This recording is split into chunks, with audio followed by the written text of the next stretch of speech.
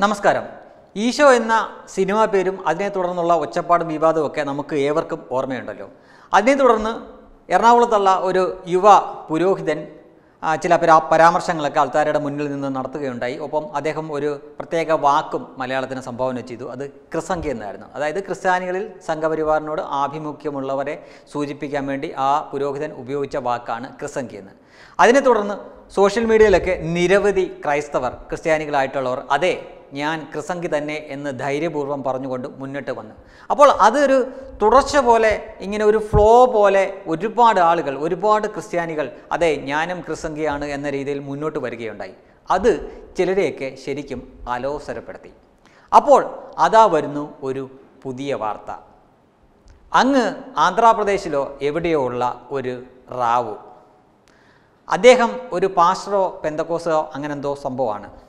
അദ്ദേഹം ഒരു പ്രസംഗത്തിൽ പറഞ്ഞത്രേ ഈ നമ്മുടെ ഈ ഇന്ത്യയെ വെട്ടിമുറിച്ചിട്ട് ഒരു ഭാഗം ക്രിസ്ത്യാനിക്ക് കൊടുക്കണം എന്ന് പറഞ്ഞത്രേ. ഇത് എന്തുദ്ദേശത്തിലാണോ മലയാളത്തിലാക്കി ഇവിടെ കൊണ്ട് ചൂണ്ടയിൽ കൊളുത്തി ഇട്ടത് എന്ന് അത് ഇട്ടവർക്കറിയാം. പക്ഷേ ഇതിന്റെ യാഥാർത്ഥ്യം അല്ലെങ്കിൽ ഇതിന്റെ പിന്നിലെ അജണ്ട എന്തെന്ന് മനസ്സിലാവാതെ ഇതിൽ കയറി കൊത്തി കുറച്ച് സംഘപരിവാറുകാരും സോഷ്യൽ മീഡിയയിലൊക്കെ സംഖ്യകൾ എന്ന് പറയുന്നവരും ശരിക്കും വിഡ്ഢികളാക്കപ്പെട്ടു എന്ന് തന്നെ പറയേണ്ടിയിരിക്കുന്നു. കാരണം ഹൈന്ദവ മതത്തിലുള്ളതുപോലെ തന്നെ ക്രിസ്ത്യാനികൾക്കിടയിലും ഈ നിരവധി ജാതിയും ഉപജാതിയൊക്കെയുണ്ട്.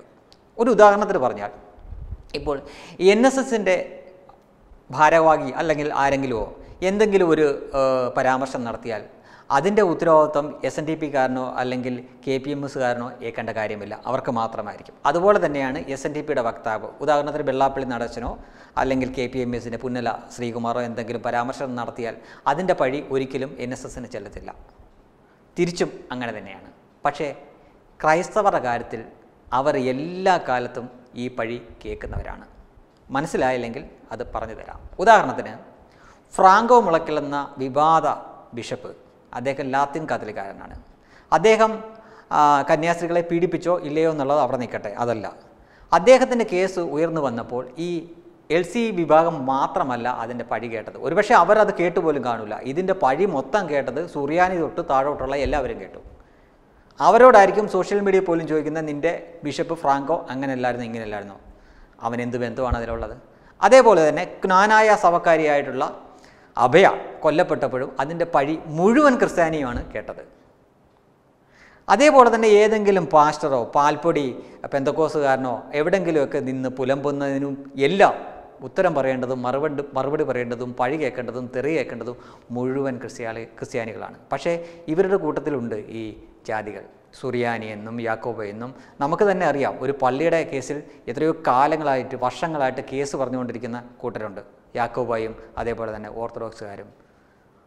റോമൻ കത്തോലിക്കർ തന്നെ എത്ര എണ്ണമുണ്ട് കത്തോലിക്ക വിഭാഗം തന്നെ എത്ര എണ്ണമുണ്ട് ലത്തീൻ കത്തോലിക്കുണ്ട് റോമൻ കത്തോലിക്കുണ്ട് അങ്ങനെ എത്ര എത്ര നിരവധി നിരവധി ജാതിയും ഉപജാതികളും ഉള്ളതാണ് ക്രിസ്ത്യാനികൾക്ക്. പക്ഷേ അവരുടെ ഒരു ദുര്യോഗം എന്നാൽ അവരുടെ എല്ലാം പേരെല്ലാം ഒരേപോലെ ആയതുകൊണ്ട് അവരുടെ ഏത് കൂട്ടത്തിൽ ആര് നടത്തിയാലും ഇതിനുള്ള പഴി മുഴുവൻ അവർക്ക് അവർക്കൊക്കെ മൊത്തത്തിലായിട്ടാണ് കിട്ടുന്നത്. പക്ഷേ ഹൈന്ദവന്റെ കാര്യം പറഞ്ഞാൽ കുറച്ച് പേരെങ്കിലും അതിന് തിരിച്ചറിയത്തക്ക രീതിയിലുള്ള വാലുമായിട്ട് നടക്കുന്നതുകൊണ്ട് ആ അത് ഇന്ന കൂട്ടത്തിലുള്ളതാണെന്ന് മനസ്സിലാകും. ഉദാഹരണത്തിന് ഒരു സരിതാ നായരെ പറയുവാണെങ്കിൽ ആ അത് ഇന്ന ആളാണെന്ന് കേൾക്കുമ്പോൾ തന്നെ മനസ്സിലാവും. പക്ഷേ ക്രിസ്ത്യാനിക്ക് അങ്ങനെയല്ല. ക്രിസ്ത്യാനിയുടെ കേസിൽ പറയുമ്പോൾ ഇപ്പോൾ ഈ ഒരു ഉദാഹരണത്തിൽ തന്നെ പറഞ്ഞാൽ ആന്ധ്രാപ്രദേശുകാരനായിട്ടുള്ള റാവു. അയാൾ രാജ്യവിരുദ്ധമായിട്ടുള്ള ഒരു പരാമർശം നടത്തി. പക്ഷേ ആ പഴി മുഴുവൻ ക്രിസ്ത്യാനികളും കേൾക്കണം. എന്നാൽ ക്രിസ്ത്യാനികളായിട്ട് ഇയൊക്കെ വല്ല ബന്ധമുണ്ടോ? അതുമില്ല. അവരുടെ വിശ്വാസ രീതി രണ്ടും രണ്ടാണ്. അവർ ചില കാര്യങ്ങൾ ഇവരുമായിട്ട് നേരെ ഓപ്പോസിറ്റ് നിൽക്കുന്നതാണ്. എല്ലാവരും യേശു ആണ്.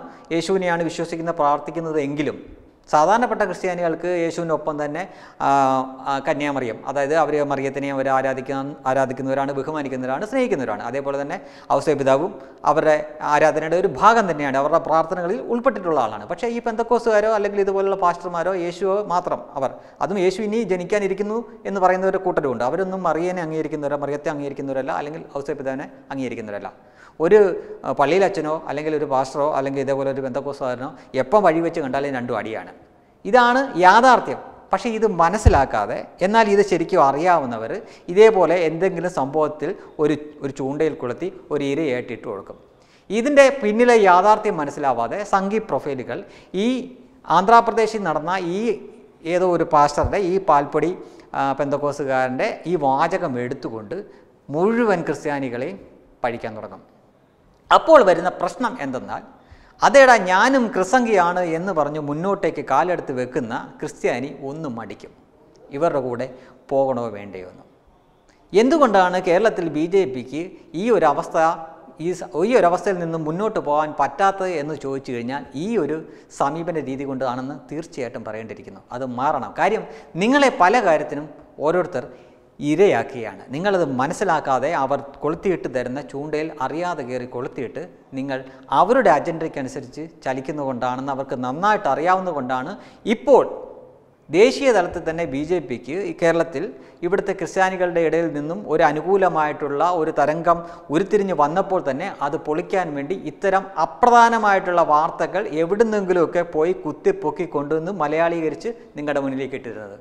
ഇതിന്റെ യാഥാർത്ഥ്യം മനസ്സിലാവാതെ നിങ്ങൾ ഇതിലേക്ക് പോയി ചാടുകയാണ് ചെയ്യുന്നത്. ഇനിയെങ്കിലും നിങ്ങൾ മനസ്സിലാക്കണം മറ്റുള്ള ഒരാളുടെ ചരടിൽ കെട്ടിയിരിക്കുന്ന പാവയെ പോലെ തുള്ളാനുള്ളവരല്ല ദേശീയവാദികൾ എന്ന് മനസ്സിലാക്കിയാൽ നന്ന്. Web desk Tatwamayi news.